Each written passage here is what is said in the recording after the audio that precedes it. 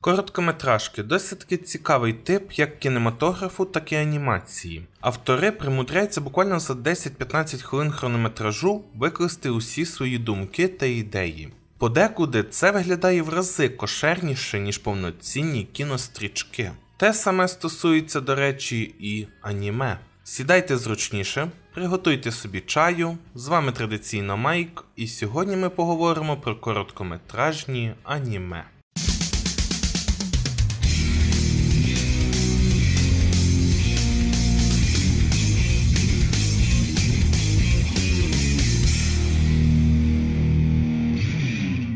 Чуйний погляд аніме 2013 року за авторством багатьма улюбленого творця душевних та зворушливих аніме Макото Шінкая. Розповідає нам цей шестихвилинний тайтл про буденність середньостатистичних мешканців нашої блакитної кульки від імені їхньої домашньої улюблениці. По правді кажучи, під завершення аніме я був приємно здивований такою ідеєю і як її акуратненько подали. Ми фактично до кінця не знали, хто є оповідачем цієї лампової та затишної історії. За маленький відрізок часу нам дійсно показали життя більшості людей зі своїми турботами, переживаннями, певною самотністю та розумінням цінності родини та близьких.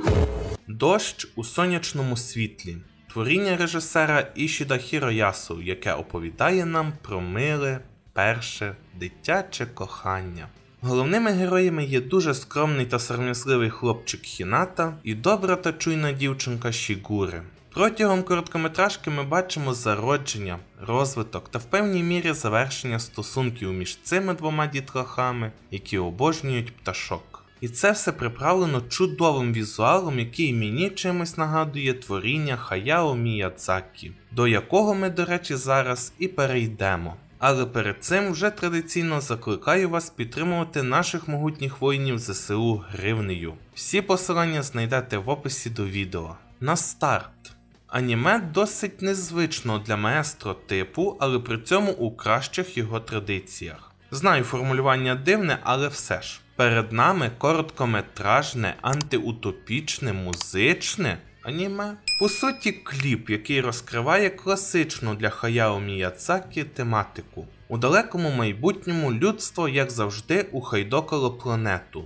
Проте життя продовжується під землею. Двійко поліцейських під час рейду на місцеву секту знаходять дівчинку з крилами, яка зовнішньо дуже нагадує іншу героїню творів Міядзакі Навсікаю. Вони їй допомагають вижити, а згодом викрадають з дослідницької лабораторії, щоб випустити на волю. До речі, аніме навіяне трагедією на Чорнобильській атомній електростанції. Навіть на фоні в один момент можна побачити величезний саркофаг та знак опасно, на жаль, російською мовою. Додому. Візуально дещо відштовхуючий тайтл, котрий своїм 3D-стилем чимось нагадав галактичний футбол. Проте сюжетно ця аніме короткометражка досить сумна та водночас своєрідно надихаюча. На вулиці 2124 рік. Астронавт на ім'я Крістофер прибуває на Марс дослідницькою місією. Під час однієї із звичайних вилазок він знаходить розбите судно, яке зникло три роки тому, та вирішує, попри заборону, дослідити його. Він знаходить дівчинку примару і після декількох невеличких пригод з нею вирішує допомогти їй та забрати залишки її тіла додому на землю.